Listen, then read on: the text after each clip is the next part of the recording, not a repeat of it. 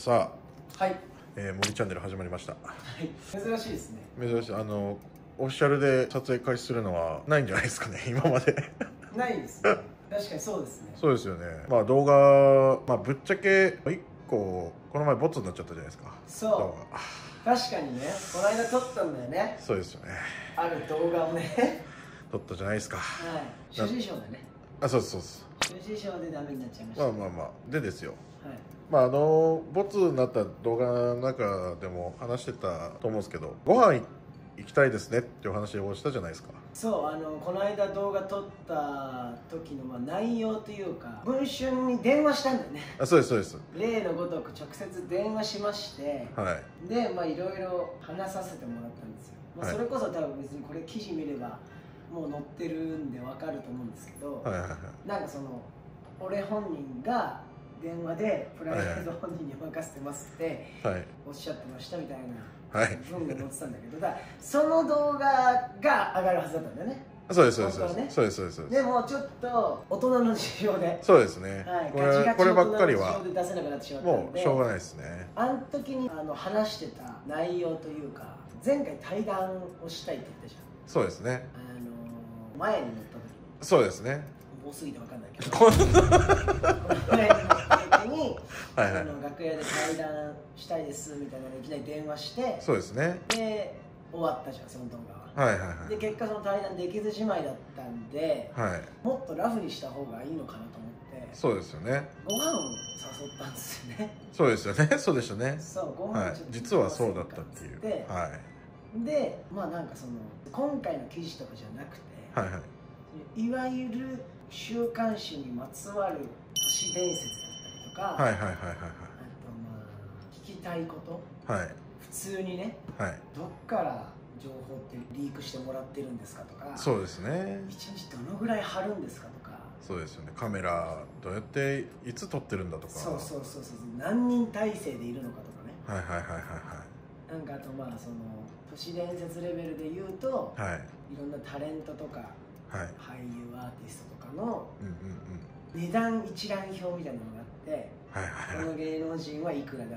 はいはいはい。っていうのが本当にその表みたいなのが、まあ、出回ってるらしいんですよ情報提供じゃあ俳優誰々い何万みたいな？そうそうそう。例えば。でその言った人にそのお金が成功報酬として入るよみたいな。うわー怖なんかええぐい表みたいなのがあるらしいんですよ。うわでなんかその例えば超クリーンに売ってる人いるじゃん。超下水話とかだったら、ーはい。そのこんぐらいで買いますみたいな。っていうのがその結構その随時あるらしいんですよあそうなんです変わかっていくらしいんですけど。へえなんかそういうのをもう港区の女の子とかご飯屋さんとかご飯屋さん。バーとかが結構持ってるっていうのはえ？なんか聞いたことあるんですよ。それめちゃくちゃ怖くないですか？めちゃくちゃ怖いよ。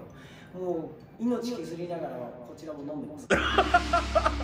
本当に。えー、でご飯食べに行くのもなんか緊張っていうかまあ知り合いは別にのお店の人とかだったらあれですけど。そうそうだろうけど全然知らないところとかだとあるかもしれないらしいですよ。えー、怖っ。でなんかその事実も絶対取られないようなところを取られてるとか。ねああなるほど。完全個室で入ってこないタイプのご飯屋さんなのにいはい。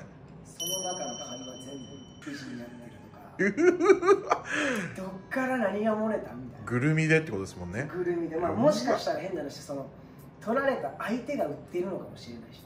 あそういうのも含めてそのだからいわゆる自分で自分のネタ売るやつとかいるのかとか、あああなるほど。まあ、タブータブーというかはい。普通の神経してたらしないよねみたいなこと。はいはいはいはいなんかやることなくなったというかはいはい。なすすべがなくなったやつがやることじゃんそれそうそうですね。その削り方っていうか。そう自分と有名な人と取られるみたいな。はいはいはい。売名行為というかすごいことしてくる。でもなんかなくはないと思うんだよね。まあまあまあまあ確かに確かに。なんかこいつやりそうだなみたいなやつ。うん。何か知ってますけど。そうなんですね。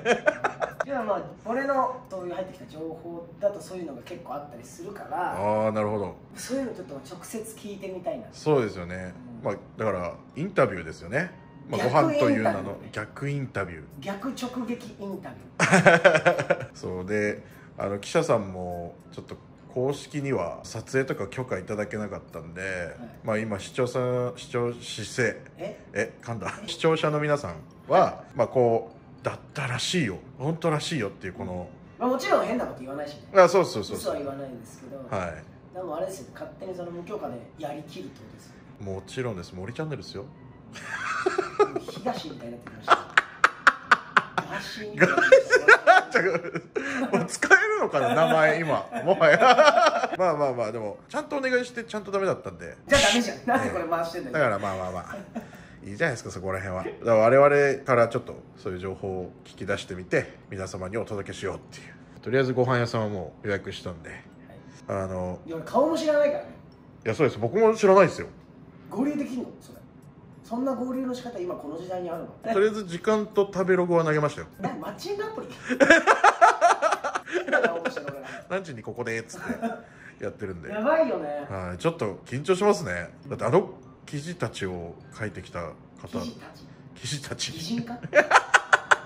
週刊誌のこと人として見てるすごい。でもやっぱあの前回、まあ、ちょっとボツになっちゃった動画でもあれですけどあの人当たりは全然いいめ人ちゃくちゃ丁寧いい人そうなんですよね。今日僕もちょっとだけ電話したっすけどめちゃくちゃ低姿勢で。ねそうだよはい、まあ上から来られたら意味わかんないですけど逆に。でもめちゃくちゃ本当はいい人なんだろうなっていう感じ。でいやそうそうそう、はい。なんかよくさ言われるじゃん。はいはい週刊誌ってその人の不幸をネタにしてて何がおもろいみたいなさ。まあまいわゆるその、はいはい。なんだろうダークヒーローじゃないけど、うん。ヒールとして扱われがちな、まあ、お仕事というかね。あそうですね。偏見が多いじゃないですか言っても、はいはいはい。まあ、特にその芸能界の人からは意味嫌われることが多いなと思うので、まあ SNS とかでもね結構叩かれがちではありますよね。そうそうそうう。ん。なんかそういうところも別にもう普通に地元の連れみたいなテンションで聞こうかな。あ もはや。もうもはや。もう。ここまで来たら。ええ。もうアポも取ってますからね。だってね。そうなんだよやっぱみんなそのあんま直接電話するやつなんかいないじゃん。いやいいじゃいないっすよ絶対。だから逃げるから怖いっていう。ね あライオンと一緒の理論。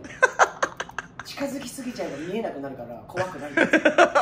あ音。おえ？何？え記者そんなわけねえ。そんなわけね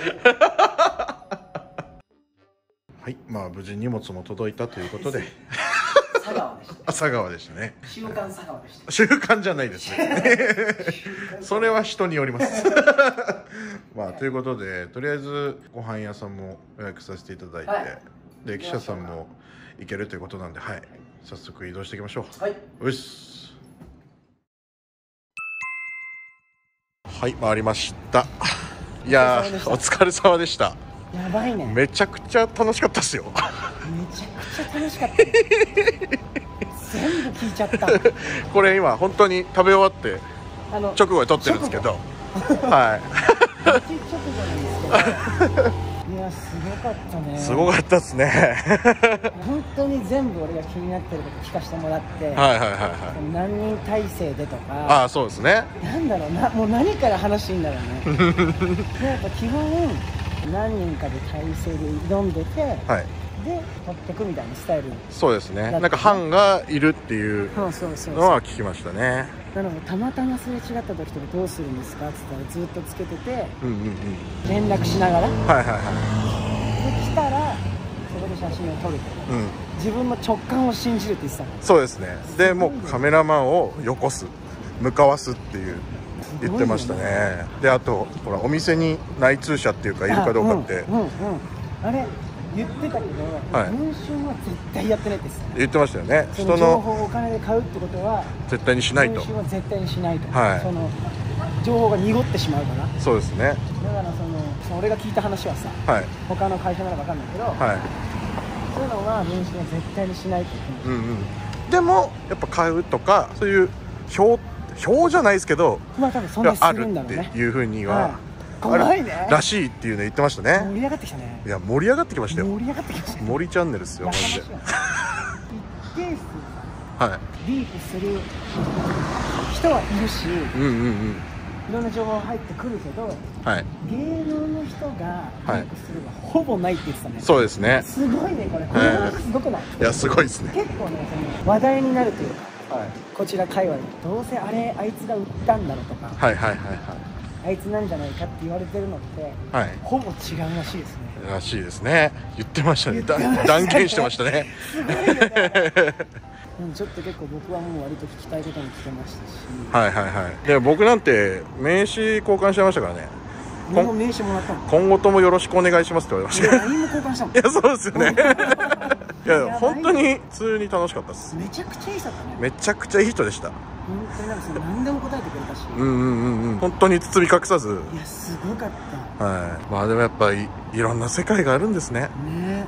でも大変ですね。記者の方も。大変でしょ。やっぱ基本夜稼働が多いと言ってたしね。不規則だって言ってましたし、僕なんて全然ですっていうふうには言ってましたけど、ね。やっぱその記事によってうんうんうん。給与形態が変わってったりとか。そうですね。プラスプラスっていうのはそのシステムは聞きましたけどまあちょっとそこ細いこと言うとかわいそうなんで。